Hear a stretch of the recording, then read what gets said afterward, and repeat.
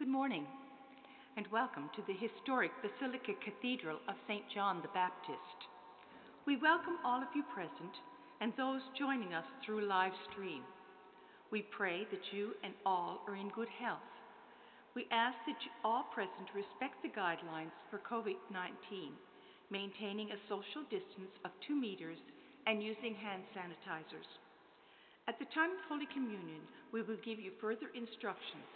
At the end of Mass, we ask you to exit through the main doors at the back of the church.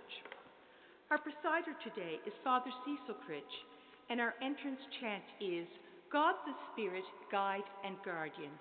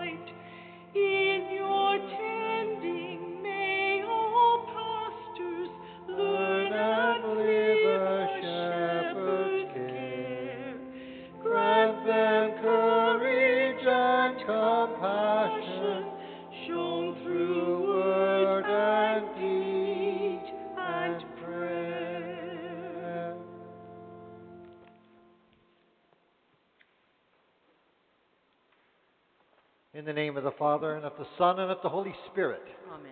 the grace of our Lord Jesus Christ, the love of God, and the communion of the Holy Spirit be with you all. And with your spirit. Morning, everyone. Good morning, Father. Today we celebrate the feast day of St. Ignatius of Loyola, the founder of the Jesuit order. And we know that St. Uh, Ignatius of Loyola was born in Spain and he was a soldier in the Spanish army and he was injured in a battle. He got a really bad leg injury in a battle. And of course, when he was recovering, the only books available were the lives of the saints and the Bible. So he started reading it. It changed his life. He, he was a major conversion in his life. So he went up to Montserrat, the great, up in the northern area of Spain, up north of Barcelona. Uh, the shrine there of the Black Madonna is there now. And uh, he laid down his sword, and then he w- went to Manresa, and he started to work for the poor and all that, and help the poor out. And then he, he sort of started working on his uh, uh, spiritual exercises, which had been a part of the Jesuit order. So we, so we got together with St. Francis Xavier and with uh, the University of Paris, uh, St. Francis Xavier, and other people, and formed the Jesuit order. And of course, our current Pope Francis is a Jesuit as well. So we, we pray through his intercession today. And to prepare ourselves to celebrate these sacred mysteries today, we ask the Lord to come into our hearts and to forgive us for the times we have failed to live up to our calling, when we have failed uh, to follow the path and the will of God in our lives every day. We ask the Lord's forgiveness.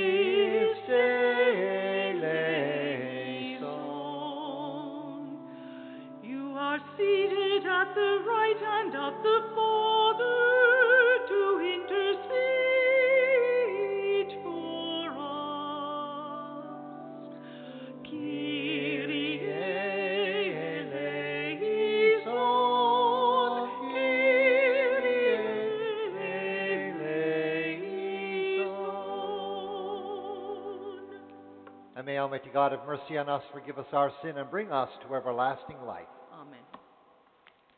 Let us pray.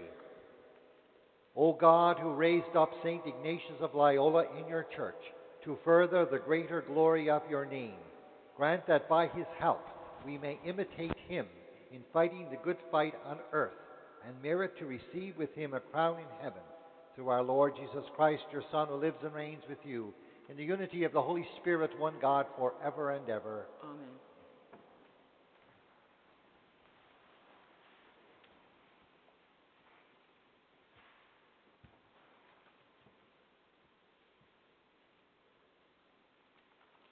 A reading from the book of the prophet Jeremiah. At the beginning of the reign of King Jehoiakim, son of Josiah of Judah, this word came from the Lord. Thus says the Lord Stand in the court of the Lord's house and speak to the cities of Judah that come to worship in the house of the Lord. Speak to them of all the words that I commanded you. Do not hold back a word. It may be that they will listen, all of them, and will turn from their evil way, that I may change my mind about the disaster that I intend to bring on them because of their evil doings. You shall say to them, Thus says the Lord, if you will not listen to me, to walk in my law that I have set before you, and to heed the words of my servants, the prophets, whom I send to you urgently, though you have not heeded, then I will make this house like Shiloh, and I will make this city a curse for all the nations of the earth.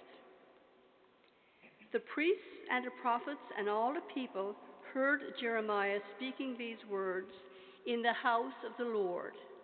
And when Jeremiah had finished speaking all that the Lord had commanded him to speak to all the people, then the priests and the prophets and all the people laid hold of him, saying, You shall die. Why have you prophesied in the name of the Lord, saying, This house shall be like Shiloh, and this city shall be desolate, without inhabitant? And all the people gathered around Jeremiah in the house of the Lord. The word of the Lord. Thanks be to God.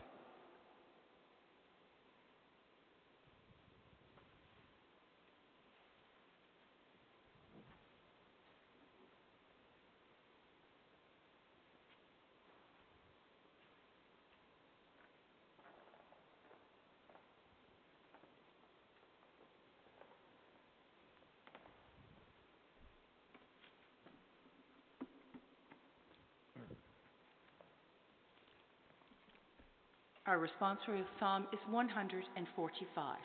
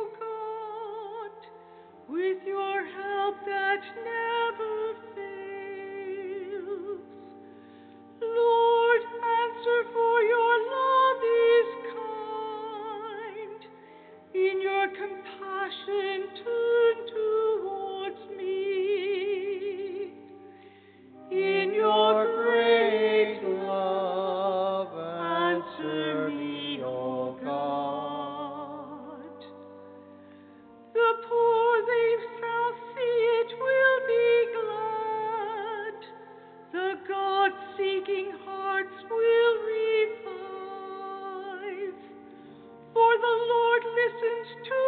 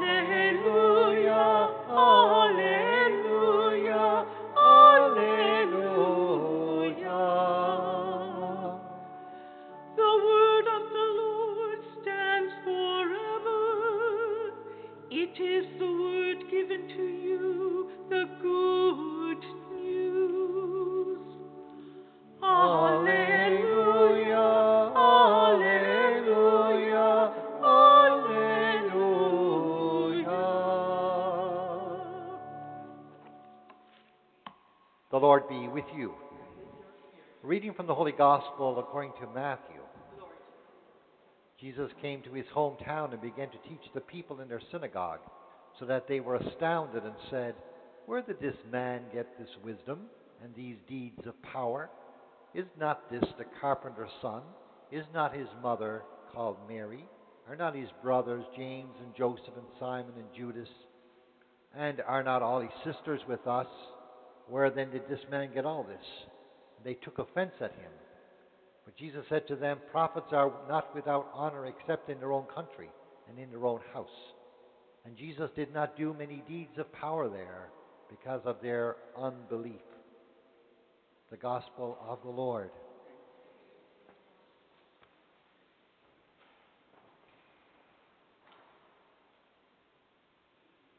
Jesus had spent the best part of 30 years in Nazareth.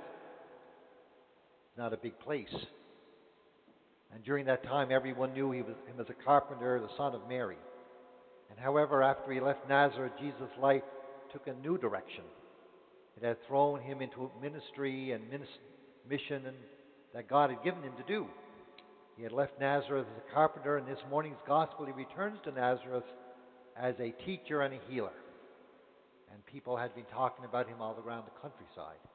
It seems to have been Jesus' very ordinariness that made it difficult for the people of Nazareth to see him as he really was in all of his mystery. God was powerfully present to them in and through someone who was, in many respects, like themselves, as ordinary as themselves. God continues to come to us today in and through the ordinary, in and through those who are most familiar to us. It is the ordinary that is filled with God's presence. Look at Jesus, born in a manger, revealed to simple local shepherds. God's beauty shone on that simple, poor, and ordinary setting, totally unexpected for the coming of a Messiah, the King of Israel. The people of Jesus' hometown of Nazareth recognized the wisdom which Jesus spoke and the life giving power that were at work through his actions, but his familiarity to them closed them off from seeing him any different from themselves. So they were closed to the revelation of God's presence in and through someone who was just like them.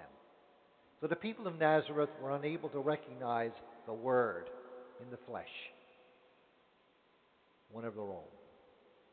So we are being powerfully reminded that, that God is often wisely and powerfully present in us, in our everyday actions, in our everyday events that we meet, and the people we meet every day. Because we can be tempted to look for God like many people in the extraordinary, in the unusual phenomena, like miracles and all that. The mystery of the incarnation proclaims that God in Christ is touching our lives in and through our day to day experiences of life. And today we celebrate the feast of St. Ignatius of Loyola, the founder of the Jesuits. And St. Ignatius' great gift to the church and to the world is what's called the spiritual exercises, which many people have done. Uh, the basic thrust of these exercises is to make us more aware of God's activity in the world and to be more responsive to what God is calling us to do and who we are to become. At the core of Ignatian spirituality is the idea of finding God in all things and that certainly relates to this particular gospel. Finding God in the everyday events of our lives, in the everyday people. What this implies is that even the most mundane and ordinary of things can be infused with the presence and activity of God. So today, as we celebrate the feast of St. Ignatius of Loyola, let us seek to find God in the ordinary moments of our lives, in the routine chores that we do, in the relationships that we have.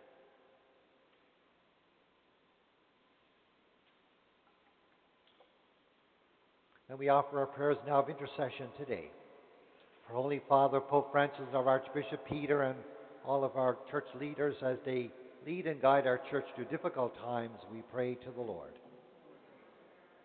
We pray for the Society of Jesus, the Jesuits, our Holy Father. We pray for our local Jesuit community and the Jesuits' work here at St. Bonaventure's College and all the work throughout our country and our world. Blessings on the Jesuits this day, we pray to the Lord.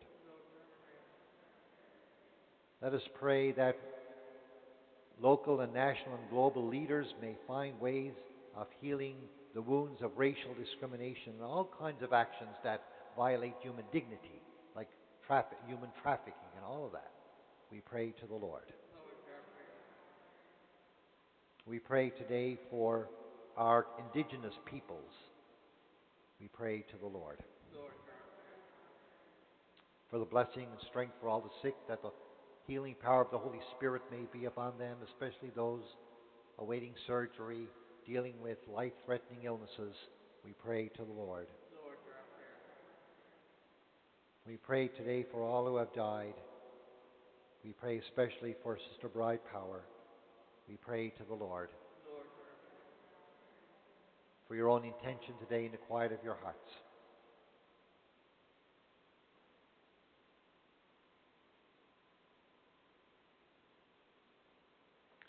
We pray to the Lord.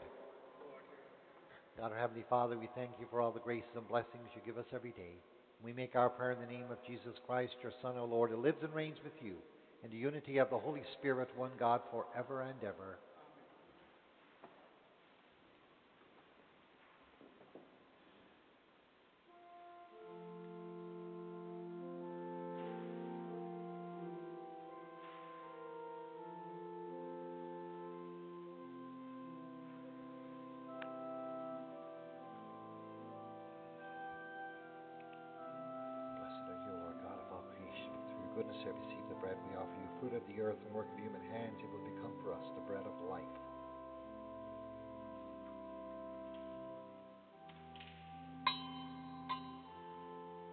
Blessed the mystery of this water and wine will become the divinity of Christ to humble himself to share in our humanity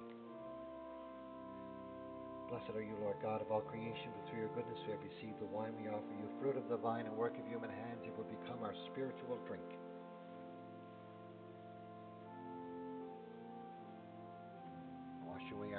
O Lord, and cleanse us of our sin.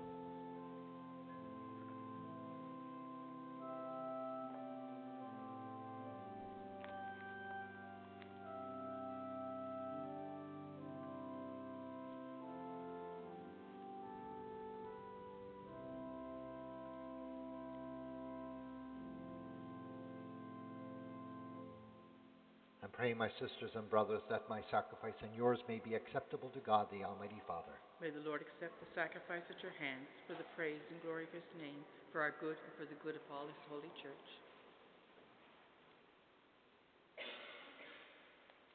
Let us pray. May these offerings we make to you as we celebrate St. Ignatius be pleasing, Lord God, and grant that the sacred mysteries which you have made a fount of all holiness may sanctify us too in the truth through Christ our Lord.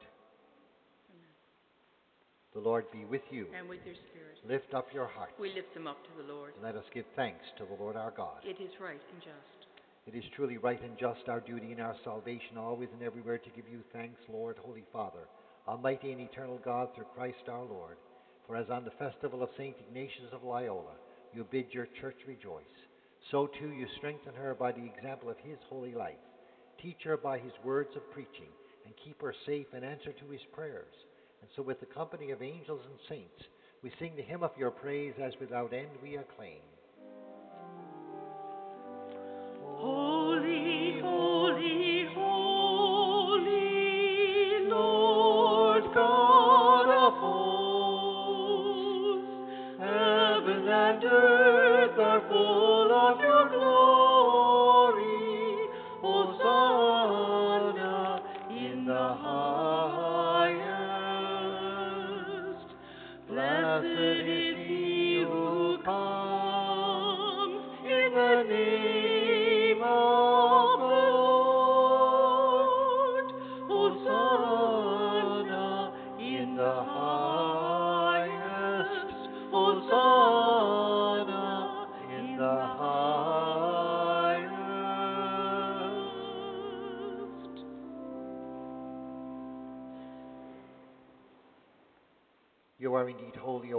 Fount of all holiness. Make holy, therefore, these gifts, we pray, by sending down your Spirit upon them like the dewfall, so that they may become for us the body and blood of our Lord Jesus Christ.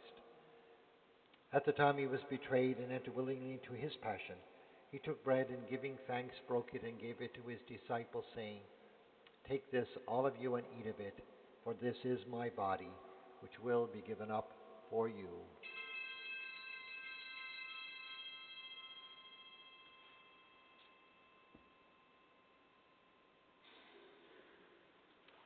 In a similar way, when supper was ended, he took the chalice and once more giving thanks, he gave it to his disciples, saying, Take this, all of you, and drink from it, for this is the chalice of my blood, the blood of the new and eternal covenant, which will be poured out for you and for many for the forgiveness of sins. Do this in memory of me.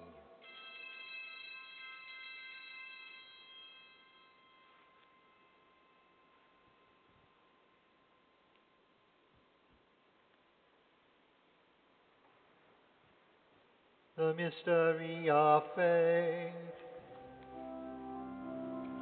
We proclaim your death, O Lord, and profess your resurrection until you come again.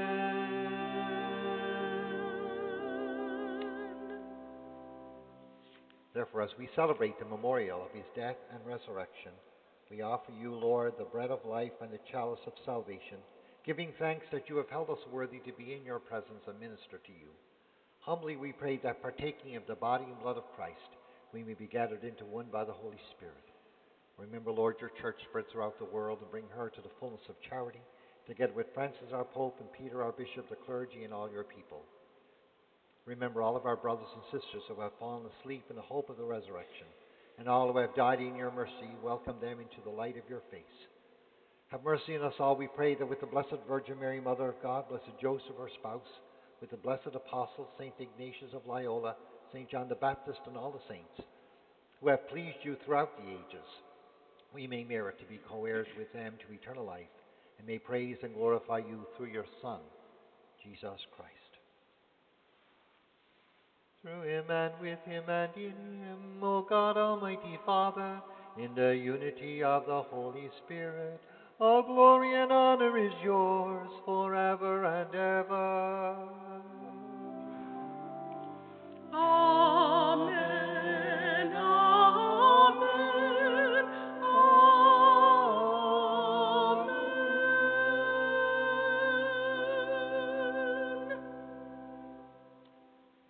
Pray with confidence to our Heavenly Father in the words that Jesus taught us. Our Father, who art in heaven, hallowed be thy name. Thy kingdom come, thy will be done on earth as it is in heaven. Give us this day our daily bread, and forgive us our trespasses, as we forgive those who trespass against us. And lead us not into temptation, but deliver us from evil. Deliver us, Lord, we pray, from every evil. Graciously grant peace in our days, that by the help of your mercy we may be always free from sin and safe from all distress, as we await the blessed hope and the coming again of our Savior, Jesus Christ. For the kingdom, the power, and the glory are yours, now and forever. Lord Jesus Christ has said to your apostles, Peace I leave you, my peace I give you. Look not on our sins, but on the faith of your church. And graciously grant her peace and unity in accordance with your will, who live and reign for ever and ever. Amen. The peace of the Lord be with you always. And with your spirit. And we share the peace of Christ now with one another.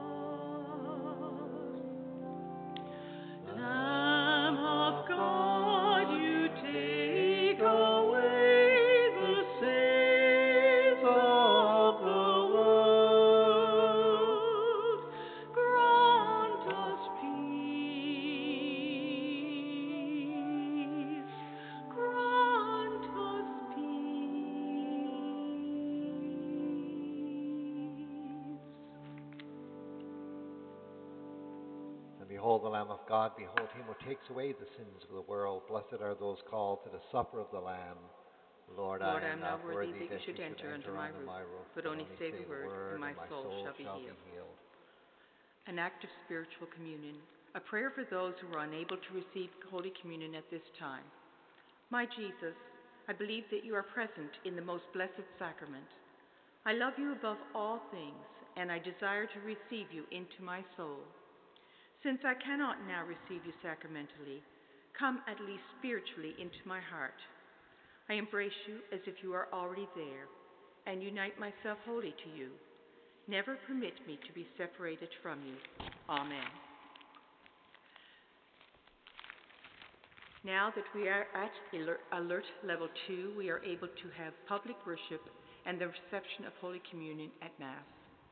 However, we must take special precautions to ensure that the reception of Holy Communion takes place in a safe and prudent as well as respectful way. Please stay in your seat until the usher guides you. The instructions of the usher and social distancing of two meters must be observed by everyone wishing to come forward for Holy Communion. The person distributing Holy Communion will wear a face mask and will sanitize his her hands before distributing Holy Communion. Instead of the individual attestation Amen by communicants at the time of receiving Holy Communion, there will be one general attestation for everyone before the distribution begins. As communicants approach the front of the communion line, they will sanitize their hands, bow towards the host, in silence receive the host in their hands, move to the side to consume the host, and then return to their pew as directed by the ushers. Any person who cannot receive Holy Communion in the hand can receive a blessing. The body of Christ. Amen.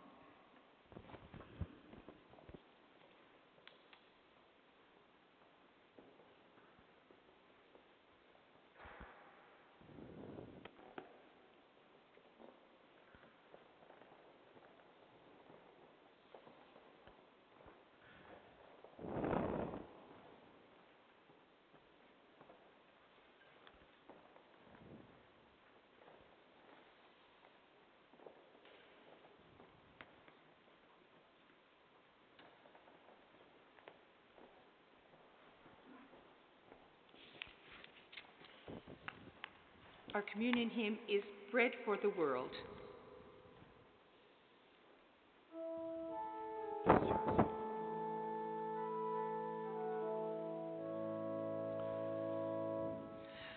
Bread for